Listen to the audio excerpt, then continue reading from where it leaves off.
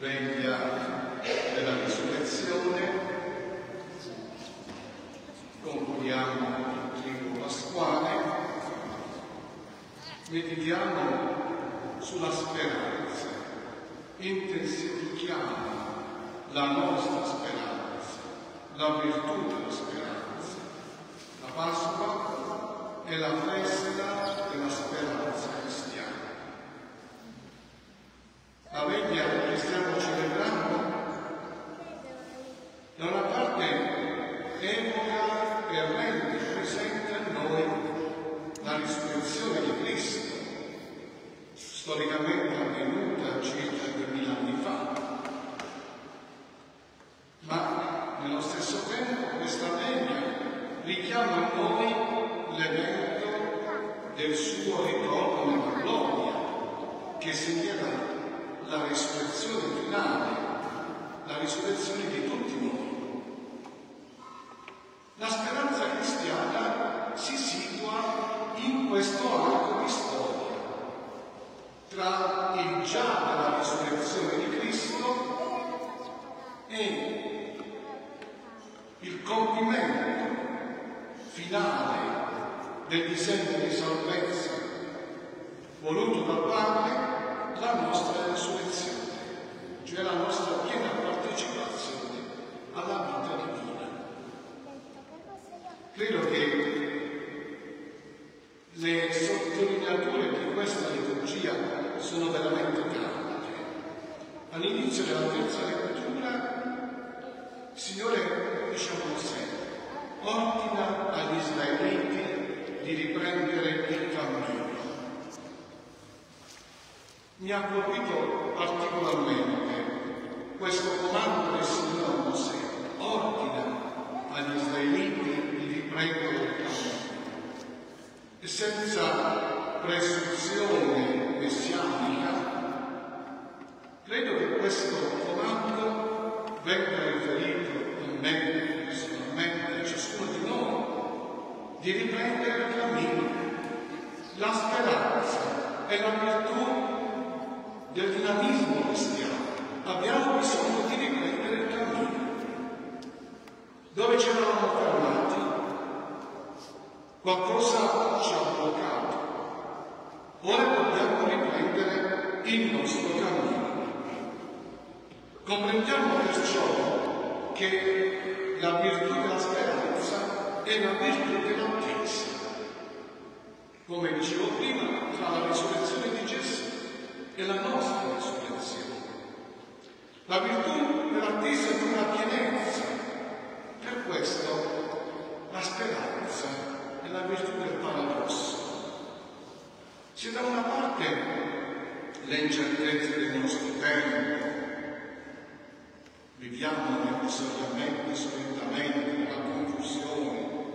le discussioni, il fallimento dei progetti umani, costituiscono il leitmotiv della crisi attuale,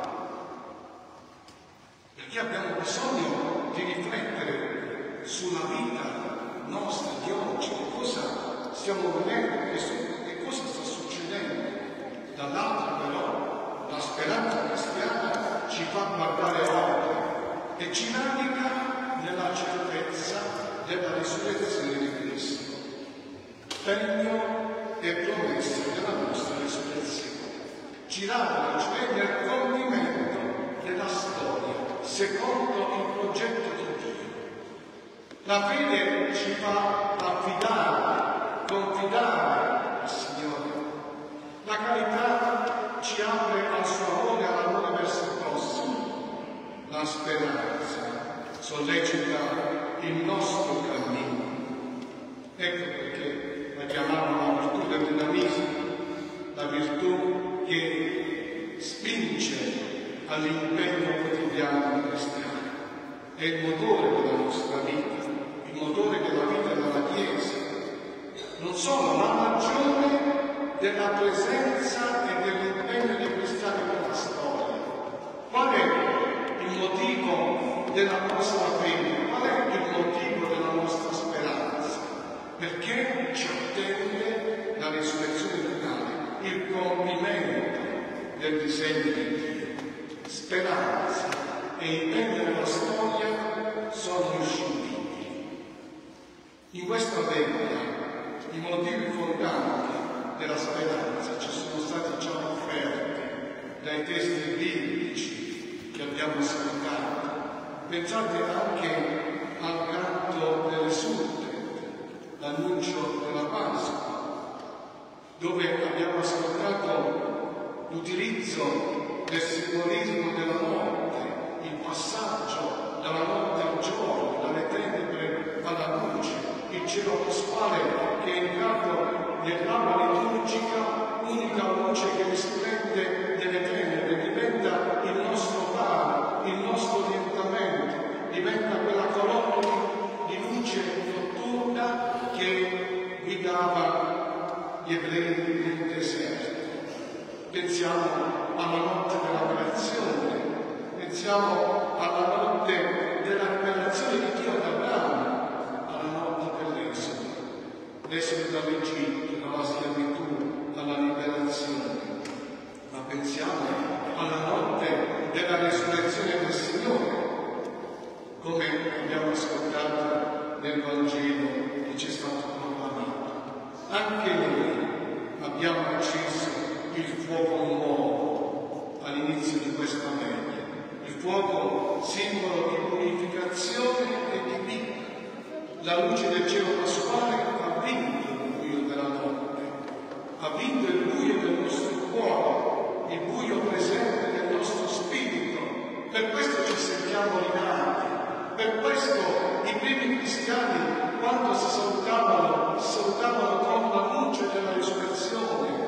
Il Signore è risorto e si rispondeva, è veramente risorto, sì, è veramente risorto, è risorto. L'angelo alle donne non è qui, come aveva detto. Voi continuate a cercarlo nel luogo della morte, il luogo del sepolcro. Ora il Signore è risorto, bisogna cercarlo altrove. La Chiesa è in costante ricerca di Cristo.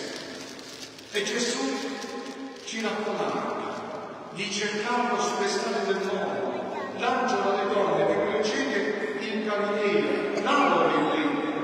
Egli è sempre davanti a noi, è sempre davanti alla sua comunità, alla sua Chiesa. E la Chiesa è comunità in cammino. Lo vedrete in Galilea.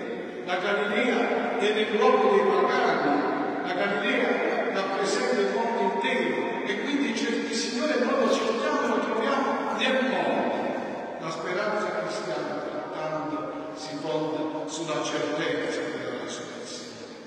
Quando vogliamo rafforzare la nostra speranza, chiediamoci perché io credo. E questa speranza si alimenta nell'attesa del compimento. La si vive nel cammino comunitario, incontro all'uomo, nella condivisione dei beni del risorto. I beni del risorto sono l'Eucaristia, i comandamenti dell'amore, il servizio reciproco.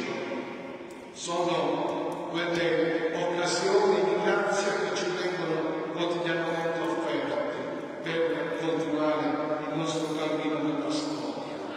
Al catechismo abbiamo imparato che la speranza è la virtù teologale per la quale desideriamo e aspettiamo da Dio la vita eterna come la nostra piena felicità, riponendo la nostra fiducia nelle promesse di Cristo. La parola di Gesù è una parola vera perché è una parola che realizza quello che annuncia, per cui la nostra fiducia non è in un fantomatico disegno, la nostra fiducia è nella persona di Gesù risorto, appoggiandoci alla grazia dello Spirito Santo, quella grazia che ci viene comunicata nella preghiera e nei sacramenti.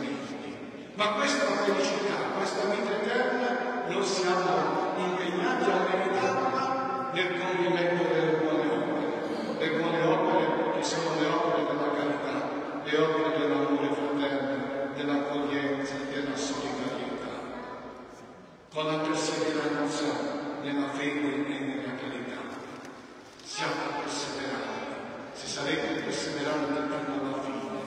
abbiamo iniziato questo cammino. Questa sera abbiamo la gioia di far generare alla vita cristiana la nostra sorella, che Leonora fra poco riceverà i sacramenti dell'iniziazione cristiana, battesimo, la cresima e parteciperà per la prima volta all'Eucaristia. Guardando a questa nostra sorella e pensiamo al nostro battesimo, noi abbiamo ricevuto il battesimo da piccoli, ignari di quanto avveniva nella nostra vita. Leonora invece è consapevole della vita nuova che sta per ricevere attraverso battesimo, attraverso l'atto battesimale. Questa vita nuova che farà di lei una nuova discepola di Cristo.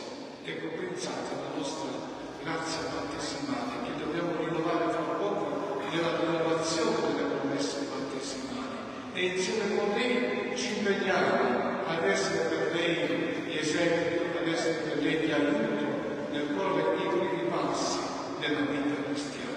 Allora, fratelli carissimi, la speranza non delude, perché